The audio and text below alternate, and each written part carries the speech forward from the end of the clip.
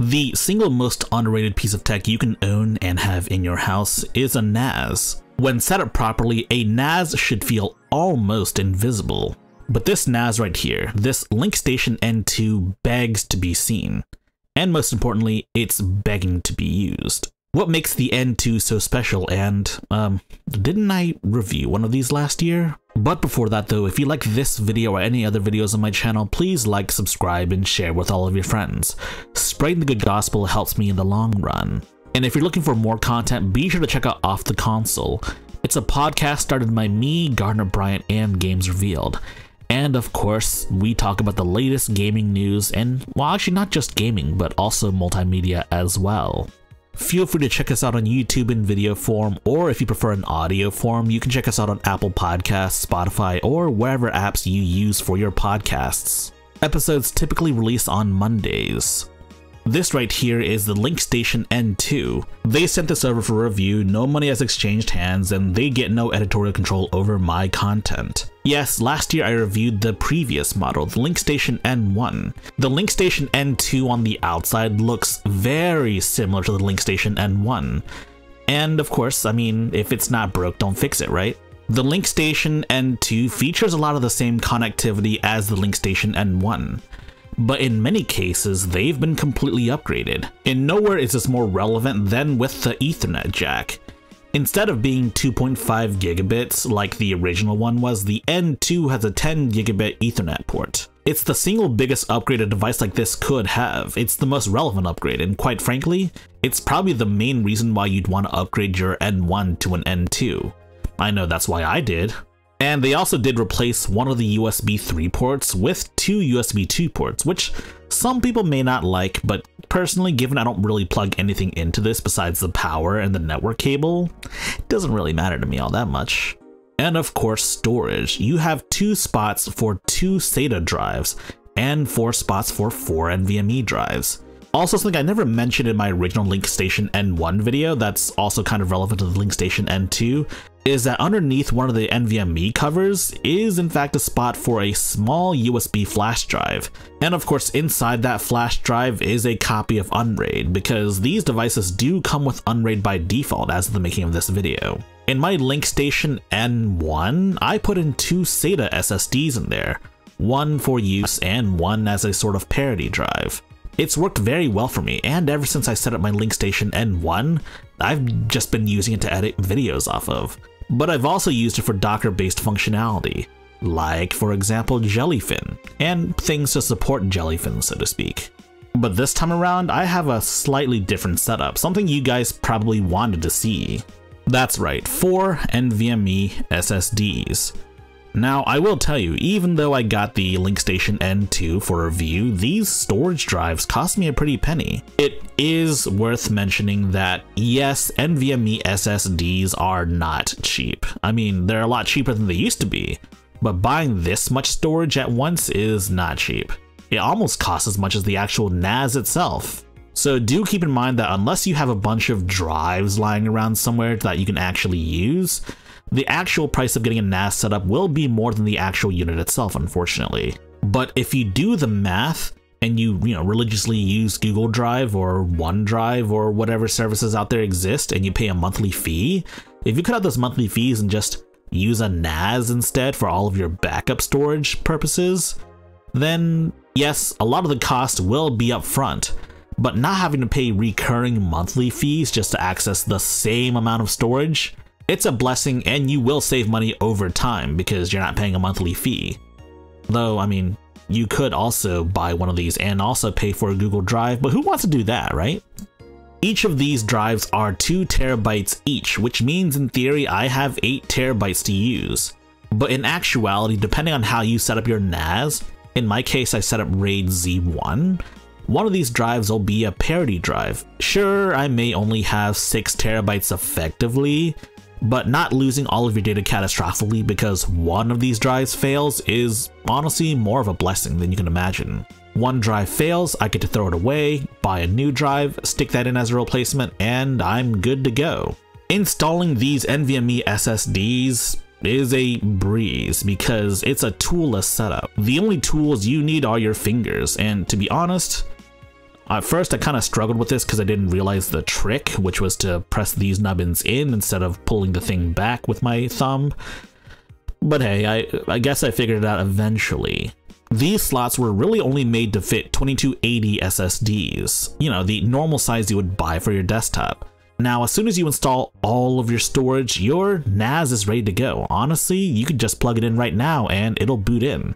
Just plug it into your network and then plug in the power and turn it on, and you're good to go. You see this USB stick right here? That has your copy of Unraid installed, but they also give you a free Unraid key to actually register your device, otherwise you can't really use it. So while LincPlus does ship this device with Unraid, and yes, Unraid does work pretty well on this device, they do make their own OS and they do want me to try it out. So I figured, why not? I'll do them a favor. So while Unraid does require you to boot from a USB for, I don't know, security purposes I guess, I'm not entirely sure. This device does have a built-in eMMC drive, a fairly small one, just enough to house whatever OS you want. And so that's where I installed LincOS. LincOS admittedly has a little bit to go. First and foremost, and probably the most unforgivable part about this, is the fact that some aspects of the device, and some pretty important aspects at that, aren't fully translated if you use the web UI. There are some features in the OS that can only be accessed via the web UI, and some of those very important options are not fully translated at least not into English. It's still in what appears to be Chinese, and unfortunately, I'm not that type of Asian, so I can't read this. It is a promising OS, and honestly, more NAS OSs are not bad. But personally speaking, I do think the OS itself needs more time in the oven. I can't really recommend this to any of my English speaking users because of some untranslated settings, and given that this is a NAS with potentially important data on it, it makes it quite difficult to recommend LincOS to my English speaking users. That's my one stipulation, they need to fix the translations. But I went ahead and trudged on by using Google Lens to translate everything. And to be honest, there are some features I am still missing, especially compared to Unraid. For example, there's kind of a lack of customization. And while this does have Docker functionality, it seems as if they have a very limited selection of Docker containers you can actually select. Some of the more important ones like Jellyfin or Emby are there. You are very limited in what Docker containers are actually available in the quote-unquote App Store. You can't even use Docker Composer either, which is like the main way I set up my Docker containers. There's a lot of customization that LincOS is sorely missing. And honestly, Docker missing a lot of the creature comforts I have with some of the other OSs out there like TrueNAS Scale or Unraid, it's kind of a deal breaker for me. So I do hope they update their OS. I hope they get the translation situation situated. And I do hope that they get the whole Docker situation situated because there are some pretty useful functionalities, especially in regards to their mobile apps, which of course brings me back to using Unraid on the N2. And honestly, I think Unraid is super easy for someone that might not be fully tech inclined. Someone that might not necessarily be a full-on tech admin, but someone that's vaguely interested in technology. And I have been using Unraid daily for pretty much over a year at this point, and I'm pretty satisfied with it. In some regards, it's made to be a lot simpler and just a lot easier to get into. Just put a bunch of drives in and add them to your array and chuck them in and you're good to go but some advanced configurations don't work as well as you might anticipate, for example ZFS. Out of the box, Unraid apparently can do ZFS, but honestly, you're kind of limited with what you can do unless you get some plugins, which is not a bad thing. I like the fact that you can get plugins to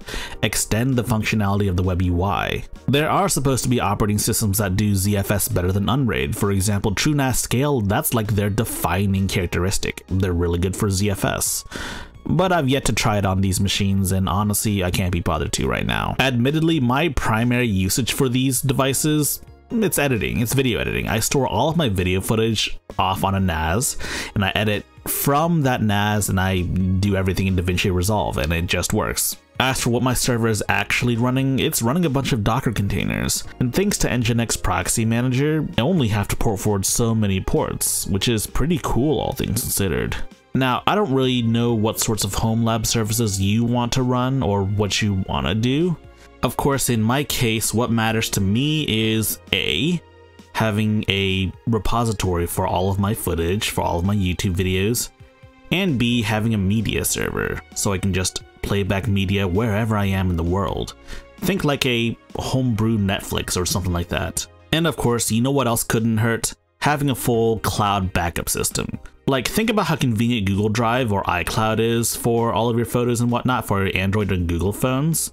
But imagine that, but you own all of your data, you own all of that storage, and you don't have to pay a monthly fee to access that storage. And that's why you should get a NAS. Now, these aren't necessarily points unique to the LincStation N2, but it's part of the reason why I like having a NAS so much and why you should have a NAS, even if you're not necessarily a content creator or someone that stockpiles a bunch of 4K Blu-ray rips or whatever. But just knowing that all of these services run off of your hardware, your network, and you effectively own that hardware means that your data is secure so long as your house doesn't burn down or anything like that. And that gives me some peace of mind. If you like this video, please press the like button and check out our other videos. And if you like those other videos as well, be sure to press the subscribe button and share the good gospel of Hi-Tech Lo-Life with your friends. Furthermore, we have a community Discord for enlightened individuals such as you. And if you wish to further support Hi-Tech Lo-Life, be sure to check out our Patreon page. Links in the description.